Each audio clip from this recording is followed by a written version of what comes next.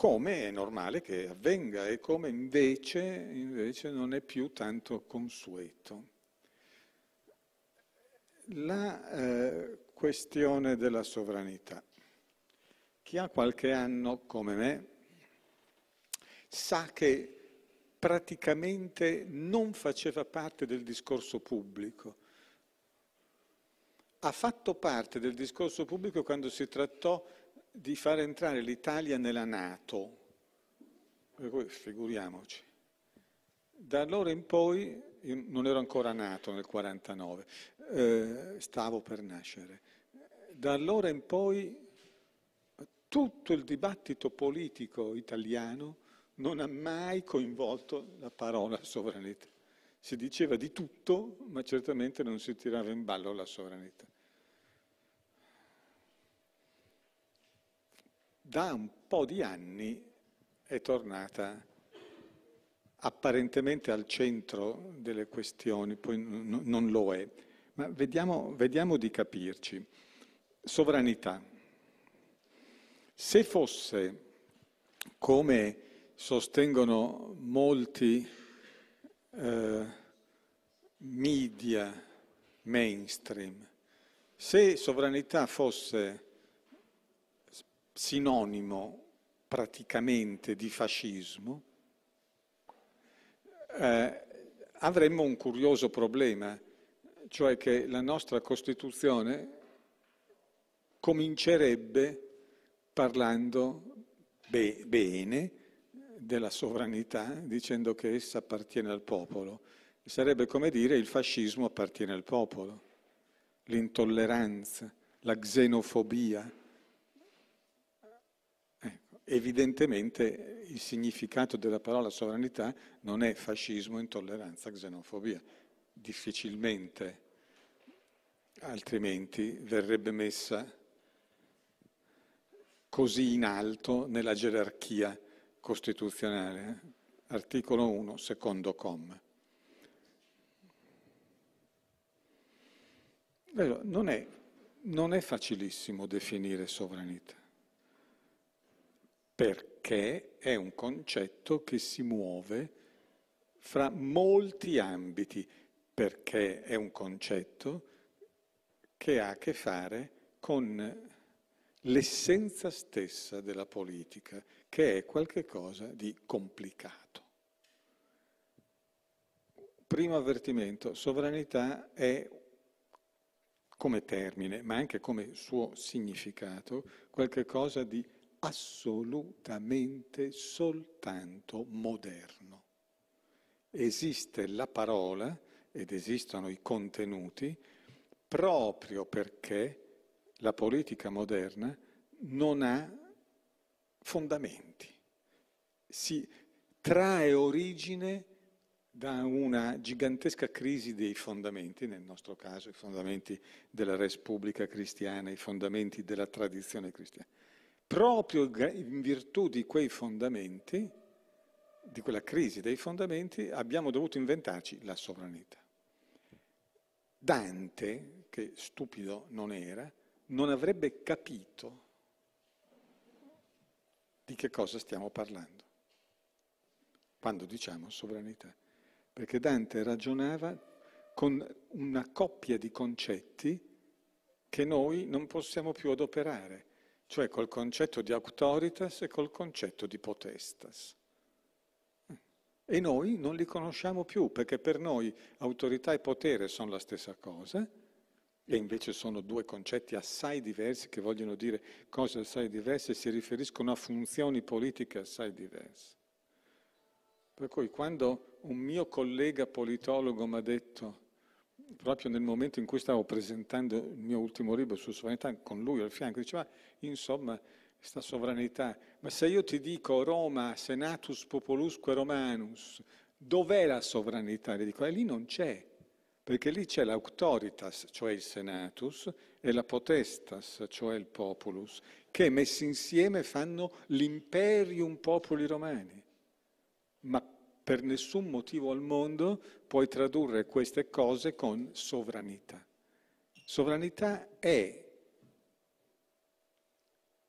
un concetto esistenziale, È un concetto politico esistenziale che sorge nel momento in cui la politica dubita di sé, dubita, cioè non sa più su che cosa si appoggia e quindi dice che si appoggia su se stessa.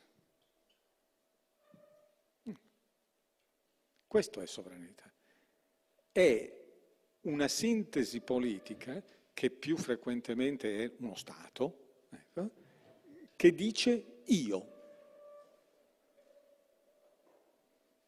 E deve dire io, deve dire io, perché non sa su quale, su quale terreno, perché non c'è un terreno solido sul quale esso può appoggiarsi. Non c'è una tradizione. È andata a pezzi, le, nel nostro caso, con le guerre civili di religione in Europa. La sovranità è qualcosa di moderno perché è l'autoaffermazione della politica. E la politica non si è mai autoaffermata, tranne che nell'età moderna. La politica ha sempre detto io politica, cioè rapporti di potere, traggo senso e giustificazione da qualche cosa d'altro, che so io, dalla tradizione, dalla religione, da quel che vuole è solo in età moderna che di fatto, con molta fatica, la politica dice io esisto perché esisto. Anzi, meglio ancora, io esisto perché voglio esistere, voglio esistere. La sovranità esprime questo carattere esistenziale della politica. Voi capite che se c'è qualcuno che dice io esisto perché voglio esistere, sta già dicendo che potrebbe non esistere. È già in preda all'ansia di, forse al timore, di sprofondare nel nulla. La sovranità è una politica infondata che vuole affermare se stessa senza avere, senza, senza voler far ricorso ad alcun fondamento esterno. Pensate alla nostra Costituzione. Su che cosa si fonda la nostra Costituzione? Esplicitamente soltanto sul lavoro, che è un concetto estremamente complesso, ma certamente è un concetto che non è religioso, non è razziale, non è nazionale, vuol dire la interazione fra gli uomini mediata dalla interazione degli uomini con la natura. Questo è il lavoro. La nostra, la nostra Repubblica non è altro che un insieme di esseri operosi che esistono grazie alla propria opera, senza dover far ricorso a null'altro e per questo sono sovrani. È sovrano questo insieme. Dunque non c'è nessuna garanzia, la sovranità è una politica che conosce il proprio rischio, è una politica che vuol mettere ordine, vuole affermare la propria esistenza come esistenza tipicamente ordinata, cioè prevedibile, eh? Sapendo che questa prevedibilità non c'è in natura e va assicurata attraverso un'opera. Il nome tipico dell'opera in età moderna è il contratto. La sovranità può essere per grazia di Dio e certamente si è presentata sempre solo in età moderna, si è presentata come sovranità dinastica per grazia di Dio, ma è stata abbastanza presto sfidata e poi sconfitta dalla sovranità popolare e dalla finzione che, che però è una finzione essenziale, che la politica sia il prodotto della libera volontà razionale di tutti i cittadini. i quali affermano di esistere. Volete l'esempio più clamoroso? La Costituzione degli Stati Uniti d'America. Come comincia? We the people. Ecco, quando c'è un gruppo di esseri umani capaci di dire politicamente we the people, noi il popolo, in quel momento nasce una sovranità, che come vedete è una rappresentazione, è, è un'idea, non è una cosa, nasce dalla, dal fatto che ci sentiamo tutti quanti membri di un corpo politico. State attenti perché non ho detto che abbiamo tutti lo stesso sangue, la stessa razza, la stessa religione. La sovranità si fonda sulla unità di cittadini, sulla cittadinanza che ti unifica. Che cosa abbiamo in comune noi italiani? Il fatto che siamo cittadini di uno Stato sovrano chiamato Italia. Basta. Questo essere cittadini a che cosa serve? A ciascuno di noi serve perché garantisce qualche diritto. Ma a noi tutti insieme a che cosa serve? La, la sovranità a ciascuno di noi serve perché ci garantisce dei diritti. All'insieme di tutti noi a che cosa serve la sovranità? Ci serve per farci esistere sulla scena mondiale. La sovranità ha sempre queste due facce, interno e esterno. Interno, Io esisto come entità sovrana e quindi ho al mio interno un determinato ordinamento. Io esisto come entità sovrana e quindi mi rapporto al, all'esterno in un certo modo verso entità a me analoghe. Allora, la sovranità è un concetto politico esistenziale, vuol dire la politica si fonda su se stessa, su un atto di volontà e di proiezione, noi il popolo. La politica sovrana ha due dimensioni, l'interno e l'esterno. Detto in un altro modo, non c'è sovranità se non ci sono confini, grazie ai quali distingue l'interno dall'esterno, ovviamente. Poi, ancora, la sovranità è un insieme di rapporti di forza, un insieme di rapporti di potere all'interno. Perché certamente i cittadini sono davanti alla legge tutti uguali, certamente i cittadini partecipano in, in condizioni di uguaglianza alla vita politica, ma altrettanto certamente i cittadini sono più o meno chiaramente organizzati attraverso gruppi, fasce sociali cioè, che conoscono diverse modalità di affermazione di questa o di quella classe sociale. Per cui la sovranità è un'esistenza puntuale, geometrica e concreta. Puntuale, io esisto e voglio esistere. Geometrica, io sono una figura geometrica. Concreta, io sono un corpo politico articolato.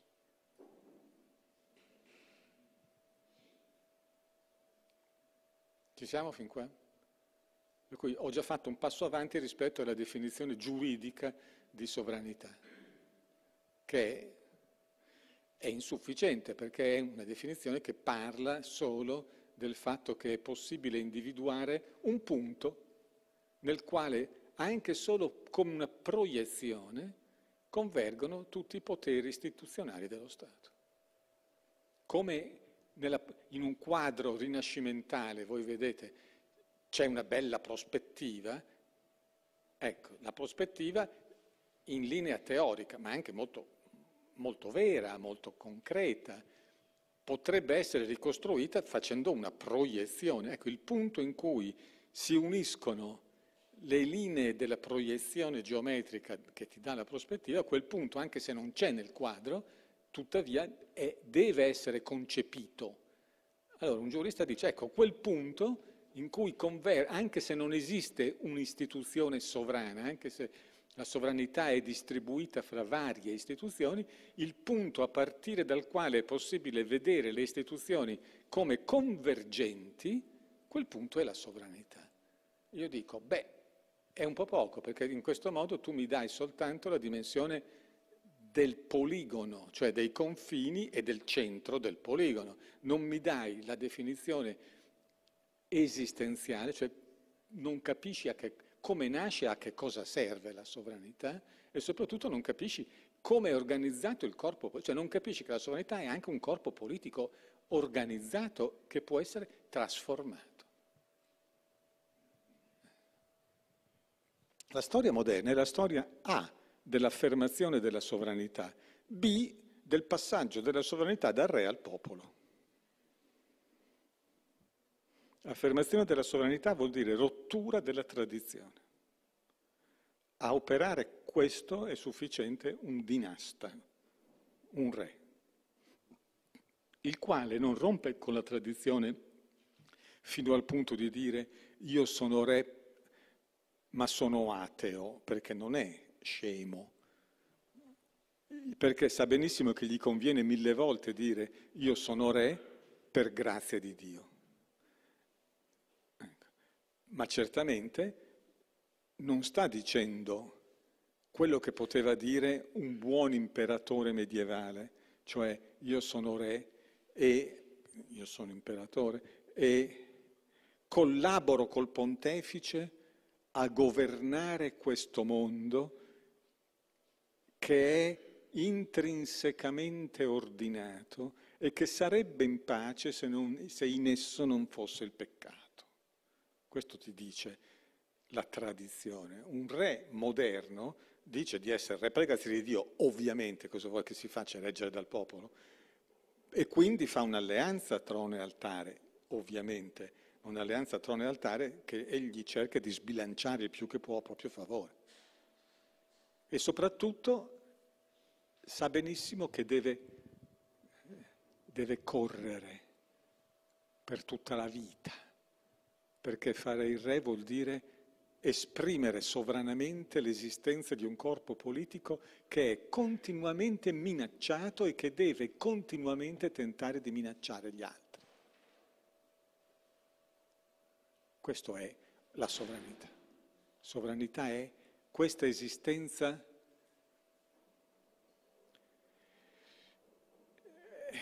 dura, molto dura, drammatica.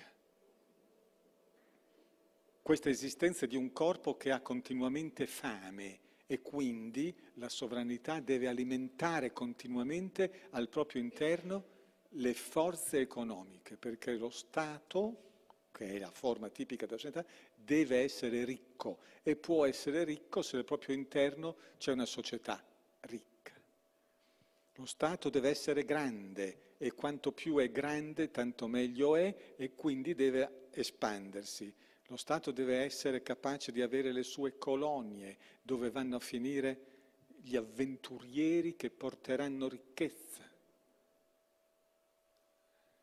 Lo Stato è qualche cosa, nega il proprio nome, lo Stato vuol dire stabilità, in realtà è sempre in movimento.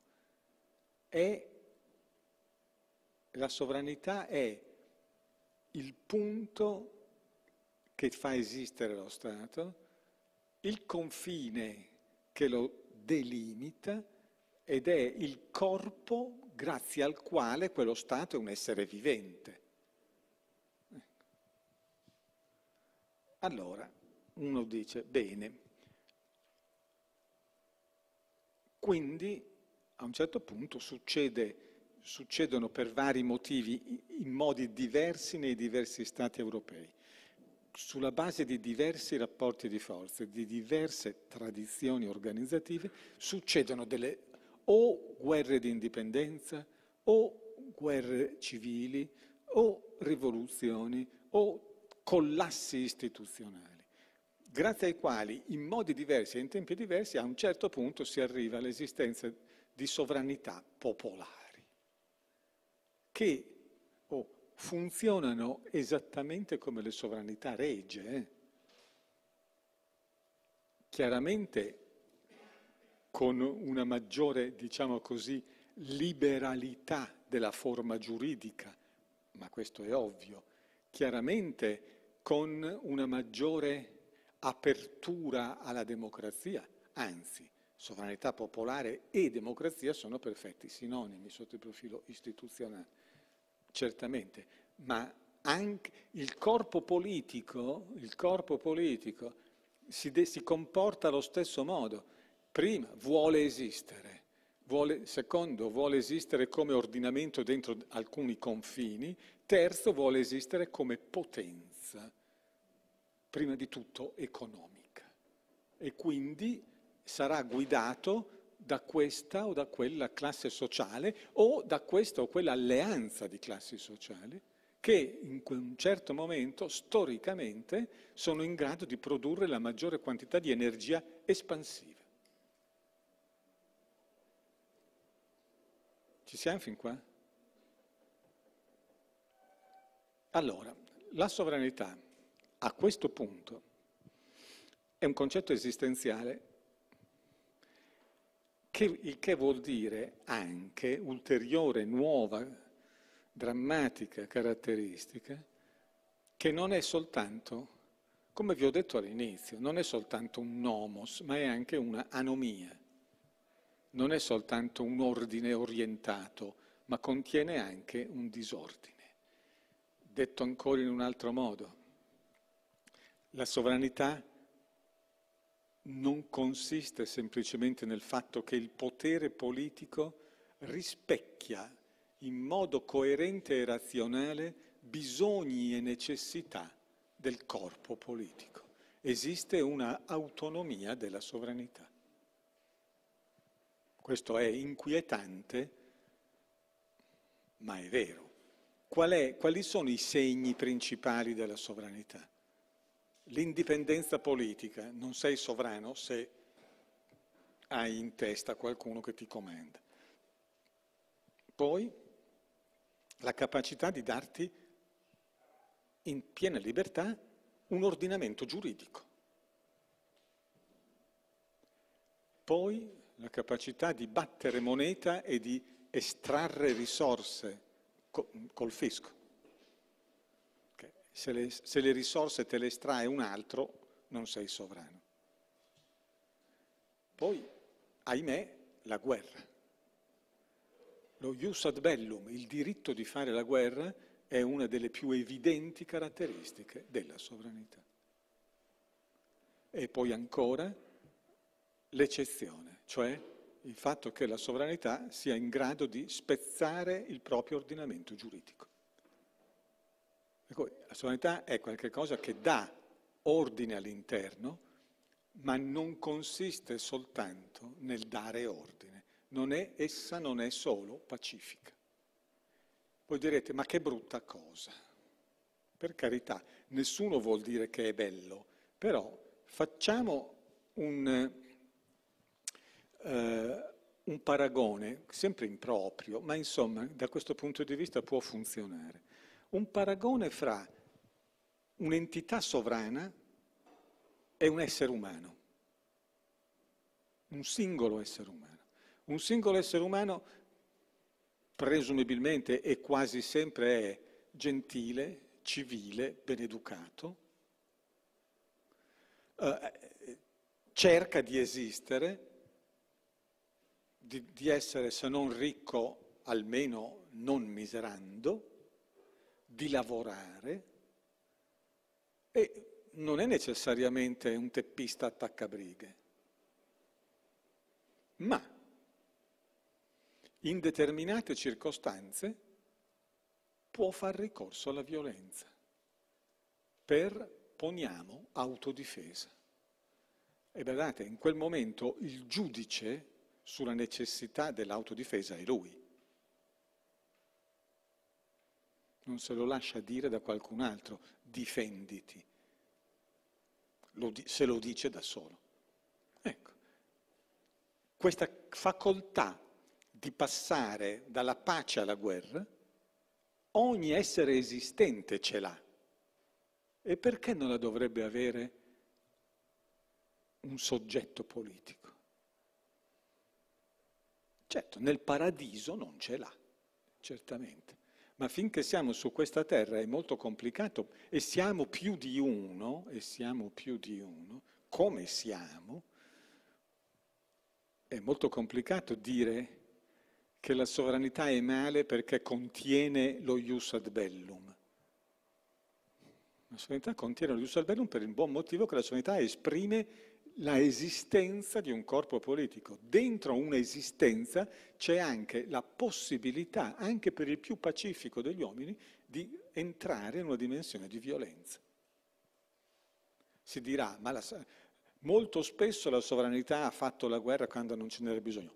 Certo, eh, disgraziati, delinquenti, tutto quel che volete, ma l'estinzione di questa possibilità non la prevediamo nemmeno noi nel nostro articolo 11.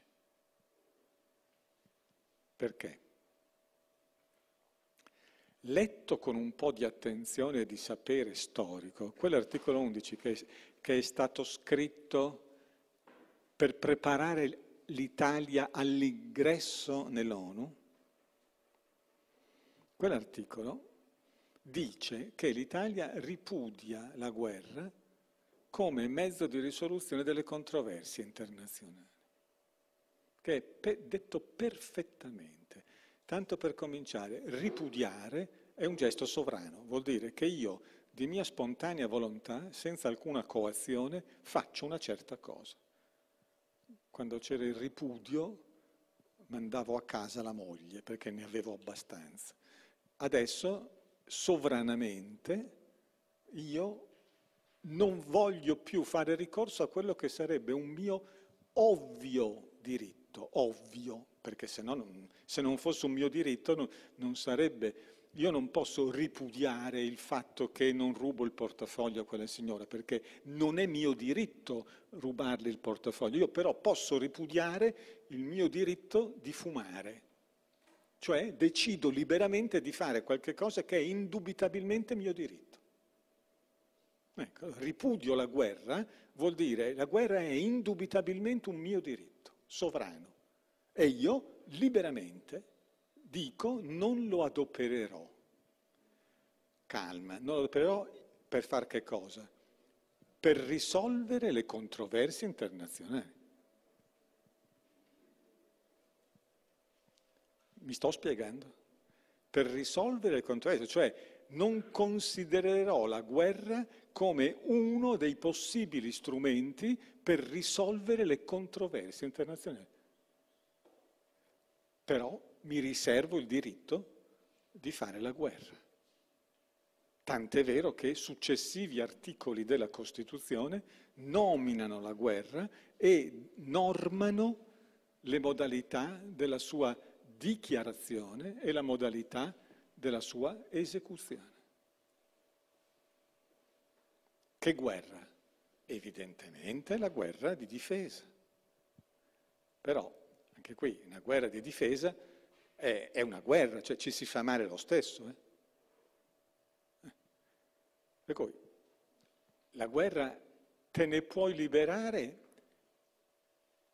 qua, come elemento normale del tuo diritto, ma te la conservi per il fatto stesso che esisti su questa terra, non puoi non considerarla come un'eventualità remota e deprecabile e tuttavia che si può presentare. Non a caso l'abbiamo normata in Costituzione. Chi la dichiara, chi la delibera, chi la dichiara e chi la conduce la delibera il Parlamento, la dichiara il Capo dello Stato, la conduce il Governo, a cui vengono dati i poteri necessari, nemmeno tutti i poteri, i poteri necessari. E durante la guerra non si fanno le elezioni politiche. Infatti io avevo suggerito di dichiarare guerra a uno staterello qualunque del, Pacifico meridionale e così non si andava alle elezioni politiche. Ah, non mi hanno dato retta.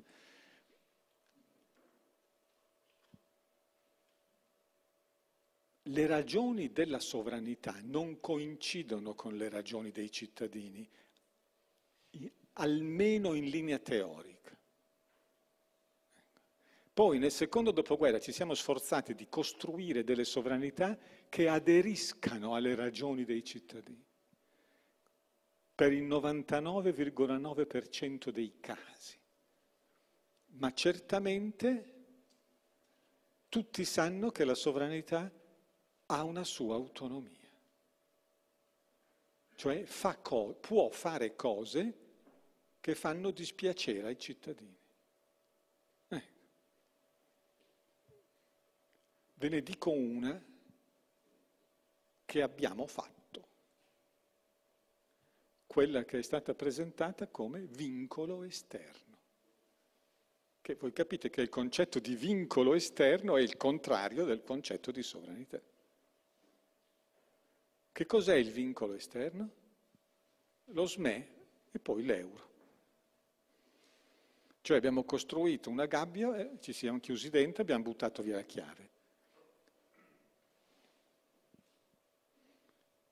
Cedendo un aspetto della sovranità, la sovranità monetaria.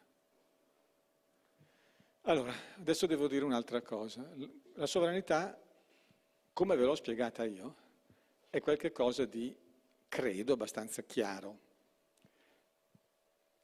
se ve l'avesse spiegata un giurista sarebbe stata anche molto più chiara. Però la sovranità si manifesta nella sua forma pura in due circostanze.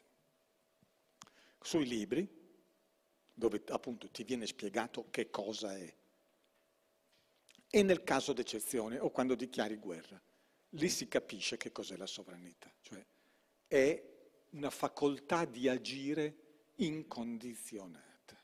Incondizionata, cioè che rompe i propri condizionamenti. Speriamo di non vederla mai e basta. In mezzo, fra questi due estremi, dal libro all'incondizionato, la sovranità è sempre impura. Ah. Non è mai piena e assoluta, anzi è un concetto plurale e pluralistico. Nemmeno gli Stati Uniti hanno una sovranità che si impone assolutamente. La sovranità consiste nel fare i conti col mondo e quando fai i conti col mondo o sei in preda a un delirio, letteralmente a un delirio, o fai i conti col fatto che a questo mondo ce ne sono degli altri come te. Qualcuno più piccolo a cui puoi dare un buffetto, qualcuno più grosso che devi rispettare, qualcuno molto più grosso che devi temere. Per cui è perfettamente inutile che l'Italia dichiari guerra nell'ordine alla Francia, all'Inghilterra, all'Unione Sovietica e agli Stati Uniti. Si può fare, stava esercitando un suo diritto di sovranità, però si è ritrovata sconfitta. Sovranità non è onnipotenza, eh? È fare i conti col mondo, è realismo. E come vi dicevo, a partire dall'8 settembre 1943 vi sono fette della nostra sovranità che non ci appartengono più. Di fatto, cioè sovranità politico-strategico-militare, noi non l'abbiamo. Perché A, abbiamo perduto la guerra, B, ci siamo stati piuttosto comodi nella situazione che si è creata dopo e abbiamo risparmiato un mucchio di soldi. Eh. Perché naturalmente il cotè politico, strategico, militare della sovranità costa un mucchio di soldi. E se tu fai parte della Nato e se te ne stai bravo, caldo, accucciato nelle tue caserme a fare esercitazioni in ordine chiuso, come ho fatto io quando ero militare, rischi non ne corri, soldi non ne spendi. Chiaro, no, non, fai, non fai la Weltpolitik. La Weltpolitik ti sei giocato la facoltà di farla quando hai perduto niente meno che la seconda guerra mondiale, o che credevi che te la facessero perdere, poi ti dessero anche un buffetto, dicessero dai abbiamo scherzato. Eh. Per cui, sovranità politico-strategico-militare, quella lì è per tutto. Io posso perfino dire è per fortuna. Poi ci siamo giocati un pezzetto mica indifferente di sovranità economica, cioè precisamente la sovranità monetaria. Non ci siamo giocati la sovranità di bilancio, nel senso che tutti gli anni il Parlamento, espressione rappresentativa della sovranità popolare, organo in cui la sovranità viene rappresentata, eh, il Parlamento decide come spendiamo i nostri soldi. Non ne possiamo più stampare, ma come li possiamo spendere lo decidiamo ancora. Sovranità dell'ordinamento. Eh, noi, noi del tutto liberamente abbiamo deciso che vi è una supremazia della legge europea sulla Costituzione italiana fatti salvi i principi fondamentali. Non sono molti i paesi in Europa che hanno deciso questo. Mm, secondo me abbiamo fatto male, ma insomma fa lo stesso. A questo punto, messi giù questi paletti, penso che abbiamo capito che sovranità ha a che fare con la serietà della politica, ma non con il fascismo. La sovranità è l'aspetto severo della politica, non è l'aspetto fascista. Se avessimo chiesto a Togliatti, Togliatti, scusi, lei è sovranista, lui dopo averci spiegato che la parola non esiste e quindi dobbiamo tornare a scuola perché siamo delle bestie ignoranti, avrebbe detto se lei pensa che io le dica qualcosa contro la sovranità italiana, lei scherza. La sovranità è intoccabile. Poi noi siamo internazionalisti, che vuol dire che vogliamo bene ai fratelli proletari degli altri stati e non faremo la guerra contro di loro, forse. Fine. Fine. L'idea che si possa parlare di politica senza parlare di sovranità è, è un'idea che esiste, che si fonda su determinate tradizioni di pensiero, certamente, ovviamente, diciamo rivisitazione di Spinoza, diciamo utilizzazione a man bassa di Foucault, diciamo globalismi vari, diciamo, critica al fallologocentrismo della sovranità, critica al principio di unità che è, pre è presente dentro la sovranità. La sovranità vuol dire se non sei un'unità politica non esisti. Ecco. Sì, a parole si può dire tutto. Poi un'organizzazione storico-empirico-concreta di esistenze umane senza la sovranità c'eranno quelli della Somalia, che sono appunto all'interno di uno Stato fallito, quelli della Libia, che sono all'interno di uno Stato fallito, e qualcun altro. I palestinesi, che non ce l'hanno mai avuto, ma tutti quanti quelli che non ce l'hanno la vorrebbero.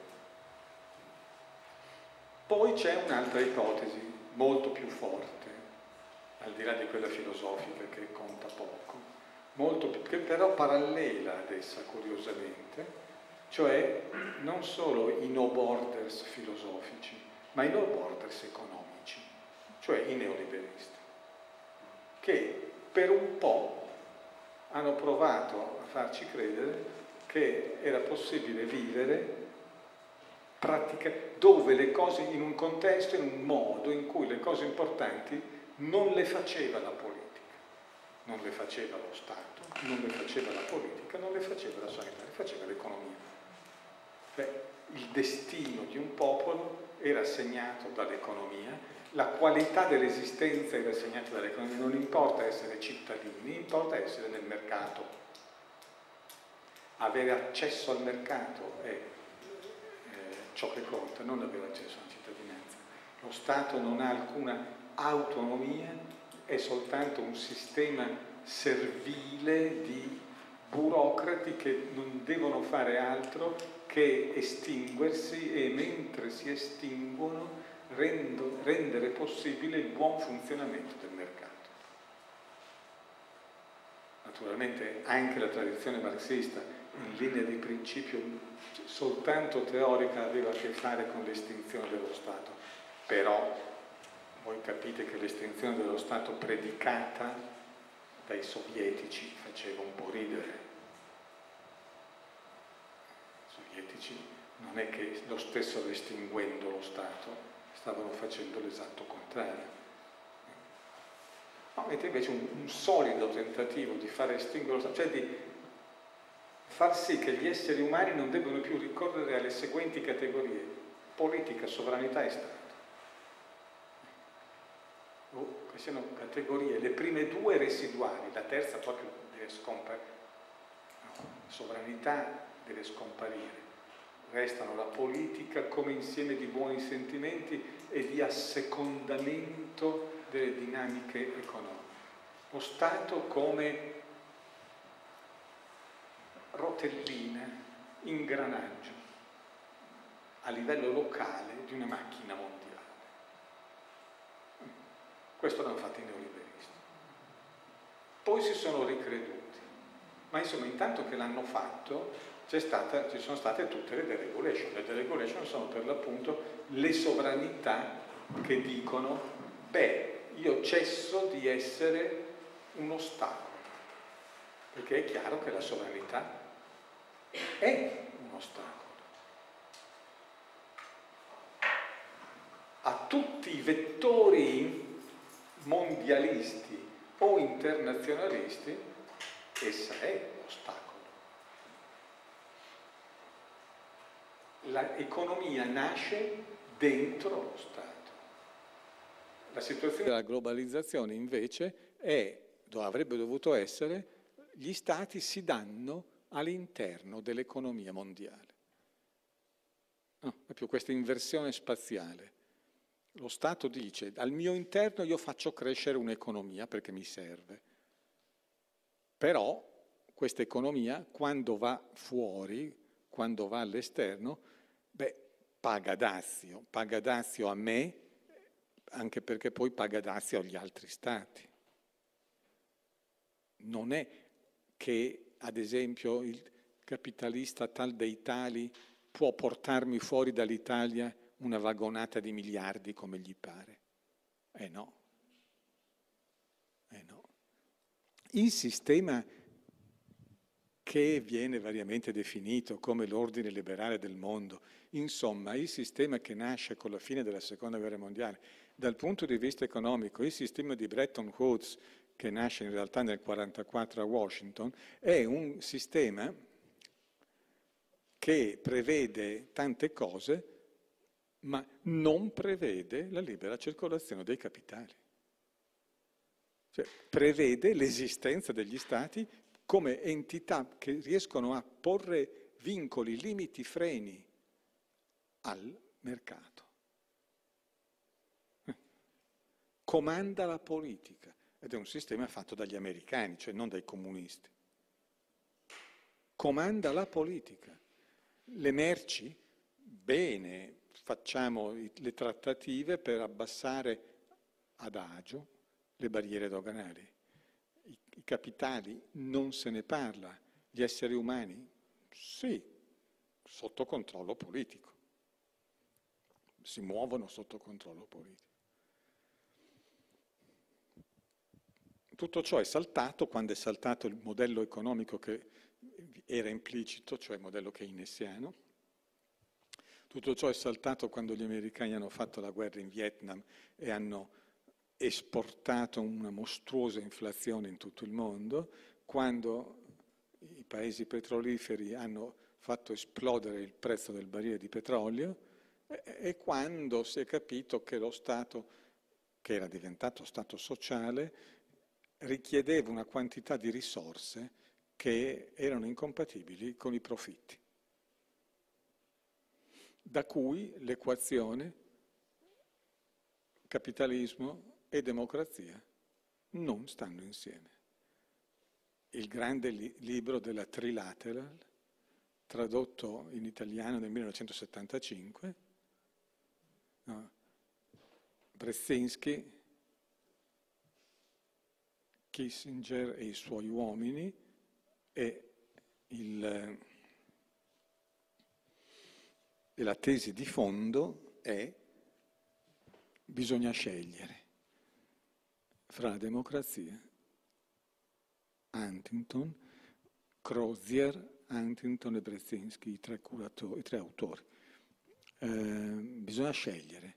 Vuoi il capitalismo, vuoi la democrazia. Democrazia sociale, democrazia con i partiti, con i sindacati che comandano, con la burocrazia, con lo Stato sociale, con l'antifascismo. C'è cose che i più giovani qui dentro non sanno neanche che cosa vuol dire, insomma, ma che sono le cose che, sono state la nostra esistenza. Eh, la risposta è stata, bene, vogliamo il capitalismo. E nel giro di cinque anni si passa, si passa da, da Nenni alla signora Thatcher e a Reagan.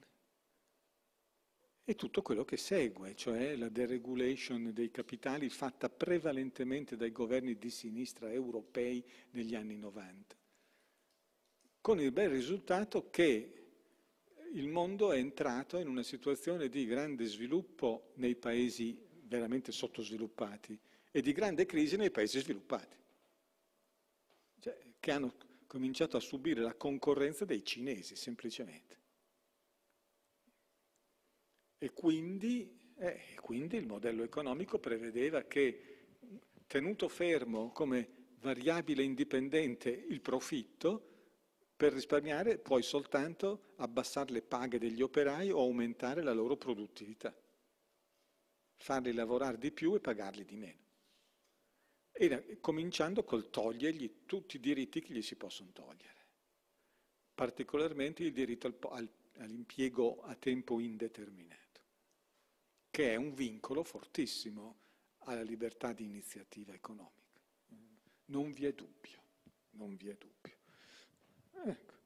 Le società occidentali sottoposte a questo regime neoliberista hanno sviluppato prima grande euforia, che bello, ci, ci, liberiamo dai sindacati, ci liberiamo dai politici, anche perché nel frattempo la stampa, che naturalmente è di proprietà dei magnati, eh, ha insegnato a tutti noi quanto è brutta la politica, quanto è cattiva la casta, quanto sono corrotti i partiti. Ci hanno messo del loro, eh? non è che fossero degli angeli. Ma l'idea, invece di dire questi partiti sono corrotti, l'idea fu l'esistenza dei partiti è inutile. Ecco. E anch'io, se fossi un super miliardario, sarei lieto che il mio paese non conoscesse i partiti. Certo. Così mando un mio direttore generale a fare il ministro ed è tutto più semplice. Naturalmente il modello non tiene sotto il profilo economico, è un continuo esplodere di bolle e di crisi.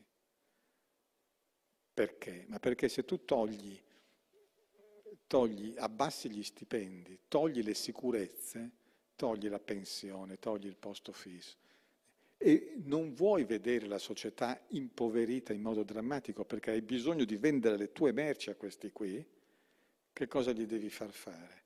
Eh, devi scambiare il salario col debito e gli, di, e gli dici indebitatevi su, indebitarsi è bello. Ecco. E a un certo punto, a furia di indebitare la gente, chi erogava il credito si è trovato che ha perduto un bel po' di denaro perché aveva dato soldi anche a chi non doveva darli. La crisi del 2008.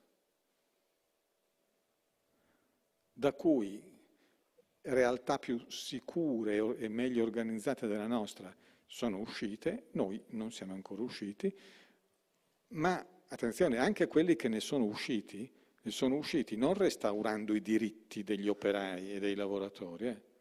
sono usciti fa, approfondendo le logiche capitalistiche, non smorzandole. Per cui se ne esce aumentando la produttività, se ne esce rendendo il lavoro ancora più flessibile. Non è che se ne esce tornando allo stato sociale. Poi noi non ne siamo proprio usciti e basta. Ecco, ecco il sovranismo. Oh mamma mia, è così facile. Ecco il populismo ed ecco il sovranismo. Dopo un po', dopo vent'anni, 25, 30 di questa cura, le società occidentali hanno capito alcune cose, che la lotta all'inflazione è una cosa bella, ma se la lotta all'inflazione produce deflazione, se la lotta all'inflazione vuol dire tolgo i soldi di tasca a te, operaio, è meno bella. Se la lotta all'inflazione vuol dire e ti tolgo anche la pensione, è meno bella. Prima te la raccontano dicendo ma sì, eh, no, narrazione euforica, eh, evviva, finisce, finisce la coesistenza umana fondata sul comando. La sovranità, dopo tutto, è un comando. Comincia l'esistenza umana fondata sul contratto e sulla, sul rischio, sulla sfida, sulla intrapresa. No? Grande narrazione degli anni 90. Non c'è più il governo, c'è la governance e via. Poi arriva la crisi del 2008, la risposta è ma maledetti voi perché vi siete indebitati. Pagherete in modo sanguinoso il vostro comportamento irresponsabile. Siete senza soldi, io vi tolgo anche quelli che avete. Questo dove? In Europa. Perché? Perché l'Europa, per vari motivi, ha tentato di affermarsi sulla scena mondiale, con la moneta unica naturalmente, costruendo una moneta fatta uguale al marco tedesco, costruita sulla stessa logica, sulla stessa filosofia politico-economica, l'ordoliberalismo, che non è coincidente col neoliberismo e che è particolarmente attento alla disciplina di bilancio, soprattutto quella altrui, ma insomma, eh, e tanto perché capiate di che cosa sto parlando, sto parlando di monti. Ecco. Cioè, prima c'erano le cicale, no? Berlusconi e Tremonti che dicevano indebitatevi, godete. Eh, poi la crisi, allora Tremonti pone in essere delle, le prime misure durissime, Berlusconi non vuole, viene fatto dimettere, non, non sto difendendo Berlusconi, eh eh, non vuole perché per, sapeva che si perde consenso a far così, insomma. Eh, viene fatto dimettere e arriva, arriva, Dracula a fare la guardia alla Banca del Sangue, e, cioè Monti. E il risultato qual è? Eh, il risultato è, anche grazie a un algoritmo sbagliato, l'austerità progressiva L'austerità espansiva si è rivelata un piccolo errore di calcolo, l'austerità non è espansiva e ci ha ammazzato del tutto. Eh, dopodiché, niente, la storia dei nostri giorni. Cioè, ci sono stati quelli che hanno detto eh, ma dai, va tutto bene, forza, coraggio, eh, evviva, eh, crediamo nel capitalismo, nel turbocapitalismo, rottamiamo tutto quanto E, e, non era vero, semplicemente non era vero. Era l'assunzione di sostanze psicotrope e basta. Ecco. E, e, la società italiana sta, nel frattempo stava dicendo ma se va tutto così bene, com'è che io non arrivo alla fine del mese? Com'è che mio figlio non trova lavoro? Com'è che la sanità tutti gli anni è sempre sottofinanziata e i servizi che eroga sono sempre peggiori? Com'è che la scuola fa pena, io devo portare la carta igienica? la scuola, sic. Com'è che l'università è degradata, è diventata un sistema a macchia di leopardo, ci sono alcune che vanno bene, altre che vanno male e non c'è verso? Com'è che l'economia non riprende? Com'è che sto peggio? Ecco. E si sono dati la risposta che ad essi è stata fornita dai partiti che hanno avuto il buon senso di dare retta a queste proteste e non di dire non è vero, tu stai benissimo, sei ignorante, non riesci nemmeno a capire come stai. Te lo dico io che stai bene, te lo diciamo noi bocconiani che stai bene, te lo diciamo noi di Wall Street che stai bene. Ci sono stati quelli un po' più intelligenti che hanno detto, ah stai male, sì è vero, poverino, ti spiego io perché, è colpa di questo, è colpa di quello. E questi hanno preso i voti, ma guarda un po', ma chi l'avrebbe mai detto? Chi l'avrebbe mai detto che a insultare gli italiani o a tentare di fargli credere che stanno bene perdi i voti e che a dirgli che invece poverini sono vittime di qualcuno, i voti te li danno? Poi è molto probabile che queste risposte positive, poverino, lo so che stai male, la colpa è, del, è di questa cosa, di que... probabilmente questa risposta è una risposta sbagliata, in malafede, tutto quel che volete, ma almeno gli hai dato la soddisfazione di dargli ragione. Allora, siamo in questo punto che la sinistra è fatta da coloro che escono alle 21 per andare al concerto. E la destra è fatta da coloro che escono alle 6 per andare a lavorare. Non è mia, è di Mario Tronti. Ma ci assomiglia molto, eh? Perché quelli che escono alle 6 per andare a lavorare lo sanno che stanno male e votano per quelli che gli dicono sì, tu stai male, quelli che escono alle 21 perché stanno bene, vanno a sentire il concerto ultra raffinato, per carità ci sono anch'io fra loro, e sono quelli che votano a sinistra, che non sono così zotici da votare a destra. Ecco. Solo che in un mondo come questo nostro, questi sono, se va bene, il 20% e gli altri sono l'80%. Questa è la storia. Gli altri vengono chiamati populisti e sovranisti. Perché? Ma perché dicono che il popolo è maltrattato e che il popolo è migliore dei suoi governanti. E perché sovranisti? Perché chiedono protezione e sicurezza.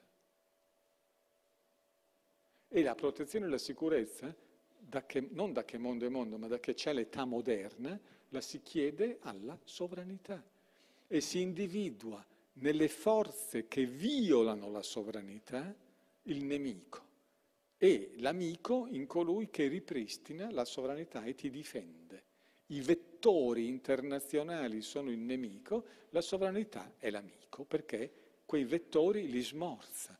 Gli dice, oh, prima di entrare in casa mia pulisciti i piedi. Eh, è facilissimo da dire non è che gli italiani sono diventati fascisti. Ma quando? Ma dove? Ma come? Ma che fascisti? Parte che il fascismo è stato tante di quelle cose che non saprei dire, non saprei dire che cosa, a che cosa si riferisce colui il quale afferma che gli italiani sono stati fascisti. Sono diventati tutti diciannovisti, sono diventati tutti repubblichini, sono diventati tutti avanguardisti, sono diventati tutti fascisti degli anni del consenso, che cosa? Ma che senso ha? Poi il fascismo, se era qualcosa, era la teoria dell'inevitabile mescolarsi di politica e violenza. Ma vi sembra?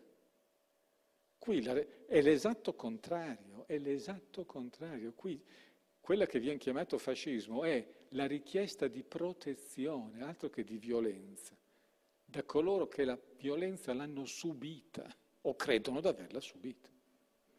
Forse si sbagliano, forse non l'hanno subita, forse l'hanno subita a opera di qualcuno che essi non capiscono e non vedono. Bene, però una, una violenza credono di averla subita. Siccome in democrazia conta la maggioranza, Se la maggioranza degli italiani pensa di aver subito violenza e pensa di volersi difendere da quella violenza attivando quello scudo che è la sovranità, è normale che ciò avvenga. E non è fascismo, al massimo è un fenomeno strutturalmente analogo al fascismo, ma solo strutturalmente, nel senso che come il fascismo, ce lo ha insegnato Carl Polanyi, non è stato altro che la risposta delle società all'eccesso di politica capitalistica privatistica, quando questa politica economica privatistica e capitalistica ha portato il mondo alla catastrofe del 29, così oggi la richiesta di protezione è funzionalmente la stessa cosa. La, è la protesta contro lo strapotere dell'economia privata e il fatto che essa, economia privata, sia stata eretta a idolo, a Dio, a misura di tutte le cose. Con l'aggravante, e questo è il neoliberismo, con l'aggravante, e questo è l'ordoliberalismo, che non possiamo nemmeno stampare moneta per difenderci dai suoi squilibri. Ecco. Non è difficile capire che cosa è successo, è difficile venirne fuori. Non è difficile però queste cose vengono lasciate dire e fare soltanto a due o tre forze politiche, quelle cattive, mentre i buoni pensano che gli italiani siano diventati brutti, sporchi, cattivi e fascisti, non si sa perché, un'ondata d'odio attraversa il paese, l'insofferenza, l'intolleranza, chissà perché, forse hanno tutti letto, che so io, Julius Evola, Gobino, Carl Schmitt, Rosenberg in edizione originale in tedesco perché non è tradotto in italiano, o forse perché gli hanno portato via la pensione, o forse perché il figlio non trova lavoro. Chissà, a voi la risposta. Certamente la sinistra sembra più propensa a indicare la causa nelle sovrastrutture, hanno letto troppi libri cattivi credevo, nella mia ignoranza, che la sinistra fosse il, il, il lato del radicalismo, di quelli che vanno alla radice, alla struttura. Credevo che un minimo di analisi storico, politico, economico, sociale la si potesse fare. No, bisogna dire che il mondo è brutto e cattivo e che chi ci governa è mostro e che chi lo vota è doppiamente mostro e lasciare tutto il resto così com'è. E niente articolo 18, è sempre sottofinanziamento dei servizi pubblici e, e viva l'euro e viva il vincolo esterno. E se uno chiede di non essere crocifisso dal vincolo esterno è un sovranista. Passeremo alla storia come uno dei tanti casi di totale cecità della sinistra, totale cecità della sinistra, che aveva veramente praterie, ma ha scelto la parte sbagliata, si è messa coi padroni, con le forze che muovono il mondo pensando di non riuscire a modificarle. E che sinistra è? Queste cose le fa la destra stare coi potenti dicendo è così perché è così e non ci puoi fare niente, è sufficiente essere di destra. La sinistra, sempre nella mia ignoranza, credevo che fosse un movimento di pensiero e di azione volto a modificare la struttura dei rapporti economico-sociali, non a fare le prediche sui migranti fare le prediche, c'è la Chiesa che le fa meglio di chiunque altro. La politica non fa prediche, la politica si deve porre domande, quelle giuste, e dare risposte, quelle giuste. Ad esempio, perché mai dobbiamo continuamente, porci continuamente la domanda come dobbiamo trattare i migranti? E non invece porci l'unica domanda sensata radicale, ma perché vengono via? che cosa sta succedendo a casa loro che vengono via? Di chi è la colpa di ciò che sta succedendo? Qual è il meccanismo che fa sì che vengono via? Questa è una domanda di sinistra, altrimenti è ridicolo chiedersi come dobbiamo trattarli. È cecità. E come tutte le cecità, in politica si pagano, perché la politica è davvero la dimensione della spietatezza, non della misericordia. Cioè chi fa errori in politica li pagano, non c'è un tribunale d'appello, forse c'è la storia, forse c'è Dio il giorno del giudizio, ma qui in questo mondo puoi sbagliare a scuola e il professore ti corregge, ma se sbagli in politica, ma chi ti corregge? Ti saltano addosso. La politica è l'estrema istanza. La sovranità è importante perché consiste quantomeno nella consapevolezza che agli errori non c'è rimedio.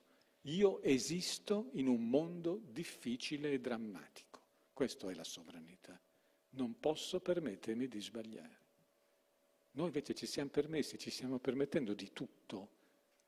Noi siamo pronti a cedere sovranità. Noi mettiamo in dubbio che il concetto di sovranità sia un concetto utilizzabile nel discorso politico, cosa che non fa nessuno nel pianeta Terra. Non lo fanno in Corea del Nord e in Corea del Sud, in Giappone, nelle Filippine, in Cina, in Russia, negli Stati Uniti, in Brasile, in Israele in Turchia, in Arabia Saudita, in Egitto in Sudafrica, in Inghilterra, in Francia, in Germania. Andateglielo voi a dire in Germania, in Francia, tu non hai sovranità, sovranità brutta, cattiva, butta via sovranità. Non toccare, giù. Vaglielo a dire tu. Solo a noi si dice sovranità brutta, cattiva, non parlare di sovranità, parla di quanto vuoi bene ai migranti. Eh. E poi si lamentano se perdono le elezioni. Questa non è sinistra, questa non è sinistra, questo è, questo è delirio. Cioè, c'è da rifare, come capite, un meccanismo di analisi, cioè un cervello. Bisogna riuscire, come vogliono fare questi brillanti giovani del sottosopra, a ribaltare un'egemonia come minimo cominciare a far circolare la voce che esiste la sovranità e che è bene saperla trattare, che esistono le classi e che è una brutta cosa essere ridotti alla disperazione, all'insofferenza, alla mancanza, a credere di essere privi di futuro. E che non ci sono chiacchiere sulle nostre eccellenze che tolgano dalla testa della gente il fatto che a Napoli sparano per le strade. Eh, così.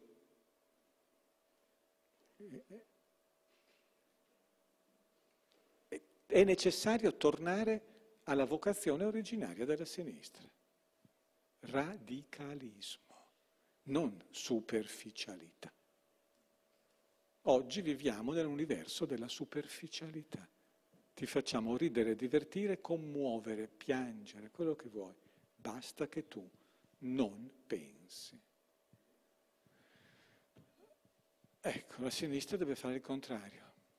Pensiamo insieme e pensiamo le cose serie, che non sono necessariamente quelle buone, ma che sono sicuramente quelle che costituiscono la tua vita. Sono cose che in Italia si sapevano, le sapevano i democristiani, i liberali e i comunisti, le sapevano.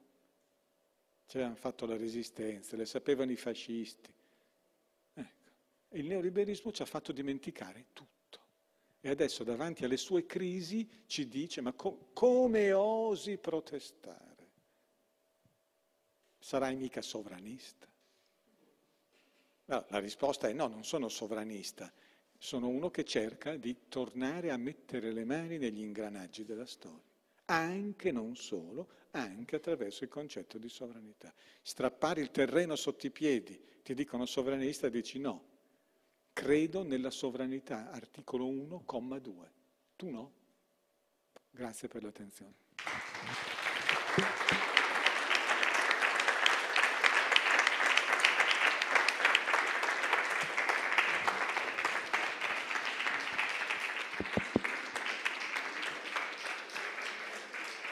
Grazie al professor Carlo Galli.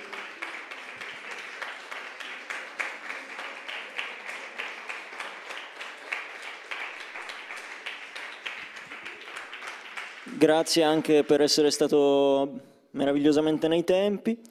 Eh, intanto chiedo se si può aggiungere una sedia così che Thomas Fazzi possa raggiungerci qui sul, sul palco.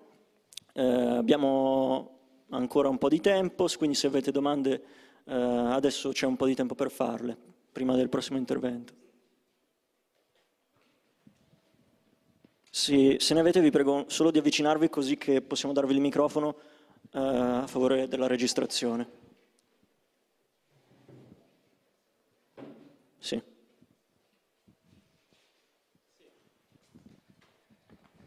No, la mia non era proprio una domanda, ma era solo uno spunto, per, ehm, visto che era stato citato The Crisis of Democracy, quindi quel periodo, eh, che ho letto l'altro giorno mm, una intervista che aveva fatto Bernardo Bertolucci all'epoca raccontando quando era uscito Novecento che mi pare sia metà degli anni 70 all'incirca, no? e ha detto che in quel periodo aveva fatto una proiezione per gli allora dirigenti del Partito Comunista, essendo un film abbastanza lungo di quattro ore, ha fatto vedere la prima parte, poi c'era stato tipo un piccolo dibattito così, era previsto così, poi la seconda parte ci doveva essere la seconda parte del dibattito. Finisce la prima parte, che raccontava tutti i primi moti, così, tutti contenti.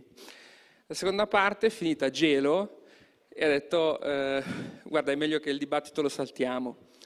Poi gli hanno spiegato che era perché in quel film lì faceva vedere questa specie di processo maoista e questa cosa non era stata vista bene perché gli hanno spiegato, guarda che in questo periodo noi stiamo cercando di avere un'interazione con eh, diciamo, il padronato, chiamiamola così.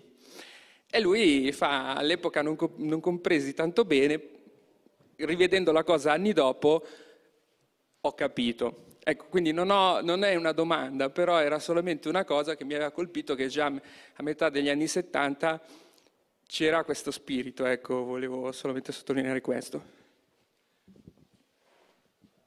Vuoi dire qualcosa? meglio che non la dica. È meglio che non la dica perché abbiamo, abbiamo dei miti, uno, uno è Berlinguer, eh, che no, eh, non può essere toccato. Certamente era molto migliore di, che, di tutto ciò che è venuto dopo, ma ecco, diciamo così, diciamo così. La subalternità, la subalternità del Partito Comunista al paradigma economico comunque dominante è, è un fatto accertato, è un fatto storico. Non, non hanno mai pensato di saper fare qualcosa di diverso, hanno sempre solo preteso di saper fare meglio. A volte è stato vero, a volte no. Quando hanno capito, a volte lo hanno detto, c'è un famoso discorso di Napolitano che gliel'ha poi scritto Spaventa sull'ingresso dell'Italia nello SME, l'ha capito, l'ha detto, è un, modello, è un modello deflattivo volto a distruggere il potere d'acquisto dei ceti medio-bassi e a punire severamente le organizzazioni dei lavoratori. Bravo, però poi è stato lettera morta, è caduto lì così, anche perché bisogna dire che se mai Berlinguer avesse avuto un'idea di autonomia, non dico terza via perché no, no, non voglio offenderne la memoria fino a questo punto. Ecco. Eh, autonomia gliel'hanno fatta passare molto in fretta, eh, ammazzando Moro, che era l'unica sponda che c'era sul mercato E naturalmente con, con quell'uccisione la nostra fedeltà al modello atlantico e neoliberista è stata garantita per sempre, ma penso che non ce ne sarebbe stato bisogno. È stata una vita sacrificata probabilmente inutilmente. Non, non saremmo stati un grande pericolo per il capitalismo mondiale. Ecco.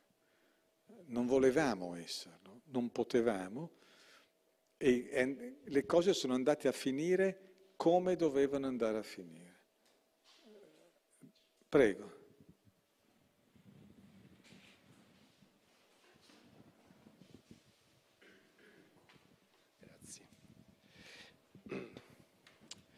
Io volevo interloquire sulla questione, mh, a partire da, volevo fare un'interlocuzione su questo, ovvero eh, in che termini la sovranità è uno scudo alle ferite inflitte dal capitalismo sul corpo sociale? Il mio dubbio è che eh, come dire, ci sia una polarità eh, che lei, so come lettore di Agamben, ha anche esplorato, tra sovranità e governamentalità. Lei prima diciamo, ha scritto diciamo, nel partito dei eh, globalisti, insomma, coloro che eh, hanno come loro eh, Metra Penser, Foucault, eccetera. Però diciamo, so che lei si è occupato anche di analizzare il pensiero di Agamben rispetto a Schmidt e Benjamin. Quindi uh, siamo sicuri ecco, che la sovranità abbia questo potere, cioè di riuscire a fare da argine alla, all, allo scempio, diciamo, uh, che il governo delle vite del capitale pone in essere questo rispetto a due, a due esempi concreti. Uno è quello, diciamo, della, per esempio, dell'istituzione del contratto, del contratto anche di lavoro, per esempio, che in Italia, ma in altre parti del mondo è uguale, in realtà in qualche modo è svuotato dal di dentro perché ciò che rende veramente effettivo il contratto non è l'istituzione del contratto, ma la performance interna. Quindi il contratto serve solamente a stabilire un vincolo, diciamo una, come la chiamano gli economisti una dittatura benigna e poi quello che veramente fa la differenza è quello che succede dentro, che è, non è definito nel contratto. In, allo stesso modo mi sembra che la cittadinanza, oramai, sia anche lì un vincolo vuoto, perché ciò che decide la, la quantità di diritti a cui poter aspirare è la tua produttività. No? Ecco, quindi a me sembra a volte che questa insistenza sulla sovranità sia un modo di eludere un'analisi più approfondita e articolata dell'economia politica, che mi sembra che sia stato un po', insomma, è l'origine da cui è nato buona parte della sinistra nel mondo. Grazie.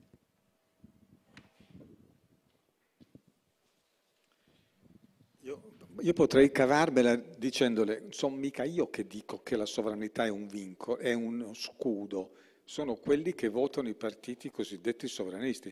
Anzi, ho, ho anche detto, non è probabile che lì ci sia la soluzione, però almeno cap- fatti lo sforzo di capire che cosa sta succedendo. Questa è la prima risposta superficiale. La seconda, sì, eh, ma poi mi, sono pieno di allievi che mi dicono proprio tutti questa roba qui. Si tratta semplicemente di fare una scommessa. È vero che la potenza del capitale, il biopotere capitalistico è invincibile? Ci sembra di sì. Eh sì, è pervasivo. Tutta la società è una società di mercato. Questi non sono slogan da centri sociali. Eh. Questa è una fotografia del presente.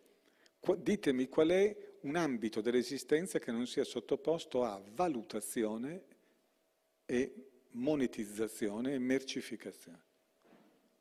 Ditemene uno e poi dopo io sono contento. Io ne ho trovato uno solo, entrare in una brutta chiesa per pregare. Quello te lo lasciano fare. Già se la chiesa è bella devi pagare per entrare. Non c'è altro ambito dell'esistenza. Studiare? Sei valutato. Fare ricerca? Non ne parliamo. sei sempre valutato, di solito da persone incompetenti. Eh, arte, beh, la parola d'ordine è valorizzazione. Valorizzazione vuol dire mettere sul mercato, trarre valore. Sanità, beh, te la fanno pagare e a me piacerebbe fare che qualche sociologo statistico si rendesse utile una volta nella vita, facendo un facile controllo sull'età media dei ricchi rispetto all'età media dei poveri. Sull'aspettativa, anzi, sull'aspettativa media di vita dei ricchi rispetto ai poveri. Così. E poi lasciamo che qualcuno ne tragga qualche conseguenza, se è capace. Ditemi un ambito dell'esistenza in cui si può fare a meno del capitale e delle sue logiche. Non c'è. E io invece sono vissuto in un'epoca in cui c'era, cioè, ci mettevano dei muri, dei muri fra la scuola e l'economia, eh, anche fra l'università e l'economia.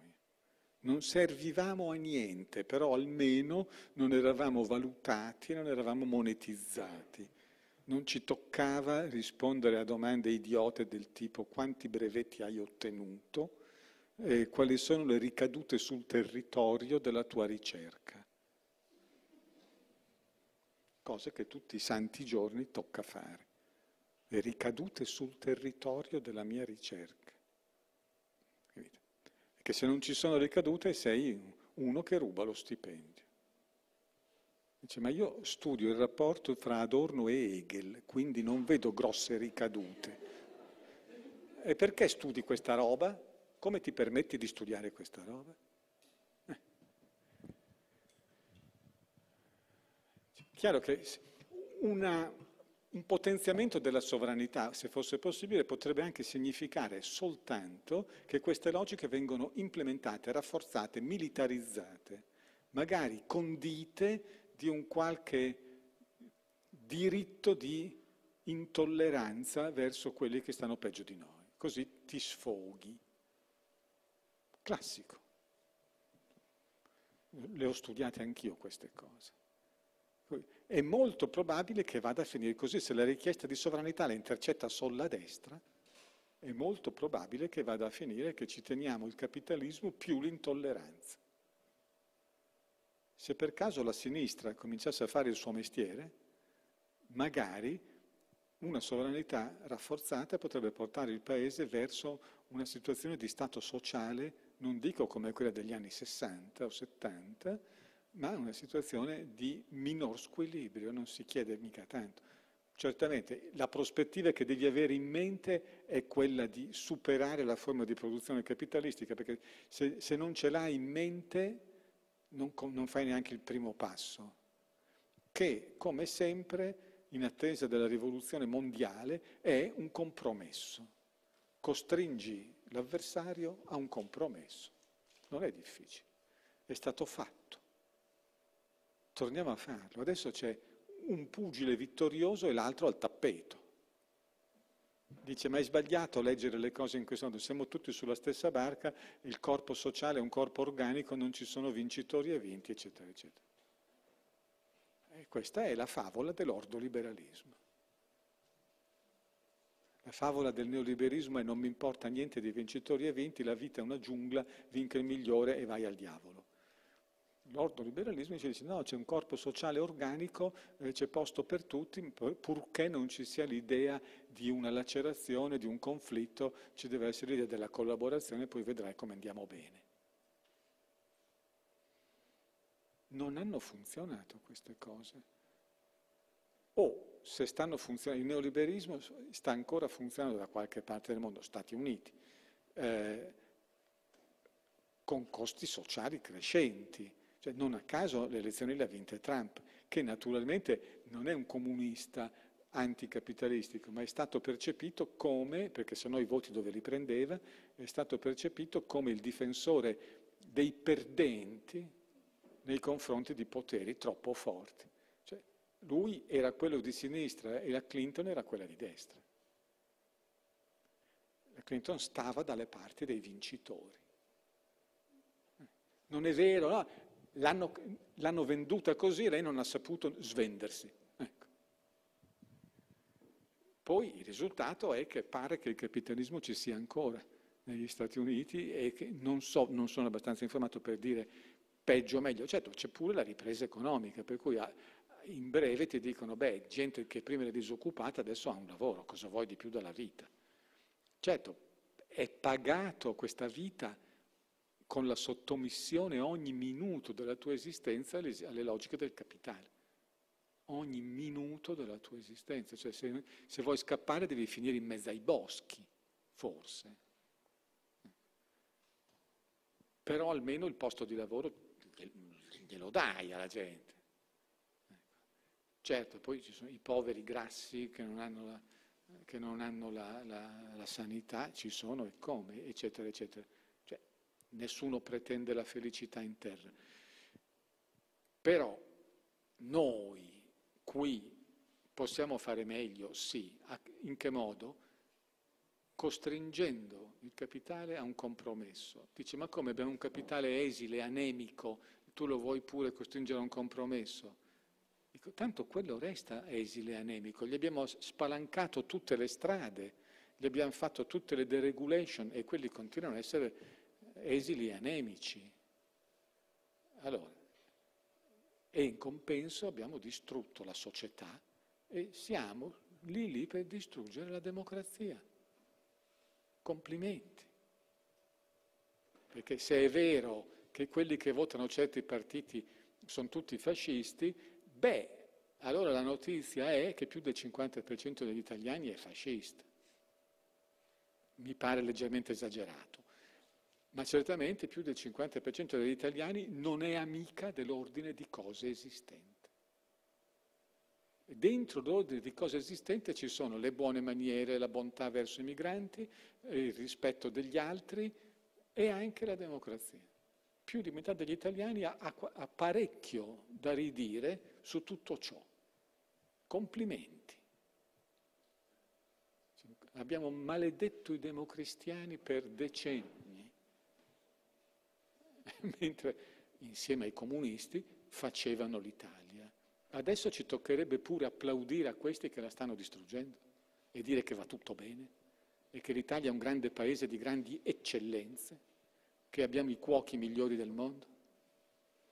Eh. Beh, l'elemento derisorio, l'elemento derisorio è quello che è divenuto insopportabile. Tu non puoi andare a dire agli italiani che stanno bene, perché non è vero. Il 20% degli italiani sta benino, il 2% sta bene. Allora, se vuoi il voto del 20%, eccoti accontentato. Ti raccontiamo una cosa, che per, ci vuole il 51% per governare. E non lo avrai mai. Non a caso stava facendo la legge elettorale e la riforma costituzionale congegnate in modo da consentire a chi prendeva il 30% di tenersi il governo per sempre. Questo è, poi se può girare, si può dire che sono tutti fascisti. Io, francamente, consegnare metà degli italiani al fascismo mi sembra che sia una definizione un po' estesa di fascismo, assomiglia alla definizione che dava Hobbes della tirannide, cioè tutti quelli che non ti piacciono tu li chiami tiranni tutti quelli che votano per i partiti che secondo te non dovrebbero esistere, tu li chiami fascisti. Ma bravo. Però questa non è politica. Questa non è politica. Dire certi partiti fosse in me non dovrebbero nemmeno esistere, non è politica. No, non è questione di fascismo. È questione che è stata tirata troppo la corda perché di vincitori ce n'era rimasto uno solo e ha voluto strafare. E ha voluto strafare nel bene tutti euforici, nel male tutti da castigare per la nostra invereconda capacità di fare debiti. E nessuno che diceva niente. Io mi ricordo i senatori comunisti, poi eh, di Essini, che scendevano dal treno a Bologna e dicevano oggi abbiamo votato l'articolo 31, abbiamo fatto bene, bisognava votarlo. Bene, ed eccoti, ed eccoti il risultato. Goditi l'articolo 81. E tu, con tutto quello che ci va dietro. È chiaro che il primo che dice e io sforo il 3% e io mando al diavolo l'euro e chi sono questi di Bruxelles piglia i voti. È evidente. Alternativa? Non mandare più la gente a votare. Oppure fare tante belle agenzie neutrali, tra mille virgolette, che si occupano di tutto e lasciano al Parlamento eletto soltanto la, la, la, determinazione dei giorni festivi, come capitava al Senato di Roma durante l'impero. C'era il Senato, eh, aveva come compito quello di celebrare i giorni festivi della dinastia regnante. Eh, vogliamo fare questo? La verità è che ci sono problemi strutturali, io non so come risolverli, però so che ci sono e gli italiani forse è meglio dirglielo, perché loro se ne sono già accorti, se ne sono già accorti sulla loro pelle del biopotere, se ne sono già accorti. Almeno glielo diciamo. E poi gli diciamo anche, guarda, secondo noi per venirne fuori, detto, detto in modo veloce, biopotere vuol dire capitalismo.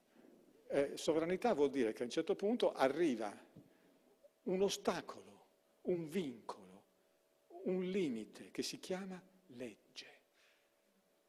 Eh, questo vuol dire. Fai una legge. La prima legge da fare, abroghi l'articolo 81. La seconda, torni a mettere l'articolo 18, non nell'ultima versione, nella prima. Poi, poi dopo cominci a rifinanziare la scuola, la sanità, l'università e poi, e poi cominci a fare delle opere pubbliche. E poi, e poi dici, metti sulle tue bandiere il mio nemico è la disoccupazione. E se l'inflazione ti schizza al 5%, pazienza. Io ero al mondo quando Andreatta emetteva i bond al 23% perché c'era l'inflazione al 22%. Sono ancora qui. Non, non, voglio l'inflazione al 22%, però, come mi dicono tanti colleghi esimi economisti, un'inflazione al 5% cosa, cosa fa? Ti riaggancia, ti, ti riaccende le, le, le, lotte sindacali.